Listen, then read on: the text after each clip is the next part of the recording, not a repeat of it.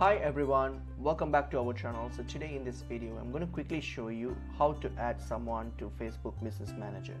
So let's get into the video. So open up your Facebook business account. So once you get to your business account, go to your business settings. So this is the business settings page here. So if you have issues getting to this page, you can just type in business.facebook.com slash settings and that will take you to this page here. So you just have to log in when you get to this page here.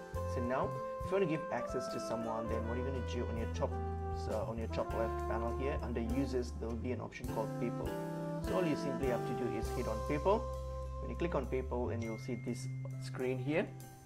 Okay so you'll screen uh, this screen here. So now what you have to do is simply simply search for the uh, simply search for uh, simply click on this invite people option here.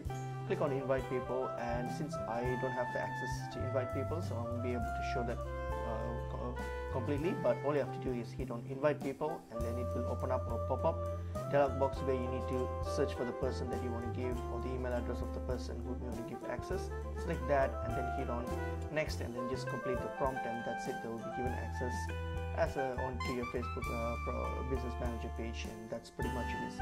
Hope this video was helpful. I will see